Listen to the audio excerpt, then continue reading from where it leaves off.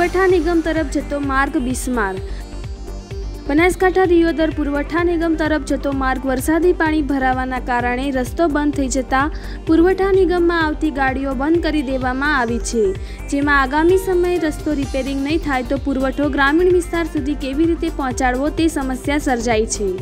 વર્તમાન સમયે દિયોદર લહેરીપુરા વિસ્તારમાં પુરવઠા નિગમ કાર્યરત છે જેમાં સમગ્ર દિયોદર શહેર અને ગ્રામીણ વિસ્તારમાં સસ્તા અનાજની દુકાન પર ગરીબ લોકો સુધી પુરવઠો મળે તે માટે પુરવઠો પહોંચાડવામાં આવે છે.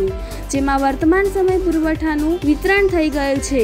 જેમાં જિલ્લા કક્ષાએથી આવતી ગાડીઓ બિસ્માર માર્ગના કારણે પુરવઠા નિગમ સુધી ના આવી શકતા મોટી સમસ્યા સર્જાઈ છે.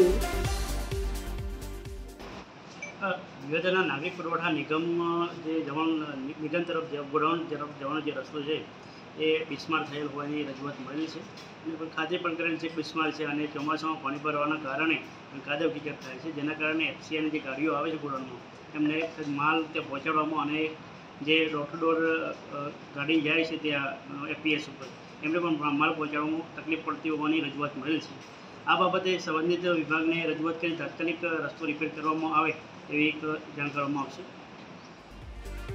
એક તરફ માર્ગ પર પાણી ભરાઈ જવાના કારણે કાદવ કીચડ થતાં અહીંથી પસાર થતા મોટા સાધનો પણ અટવાઈ જાય છે, જેના કારણે મોટા સાધનો પણ હાલ બંધ કરી દેવામાં આવ્યા છે.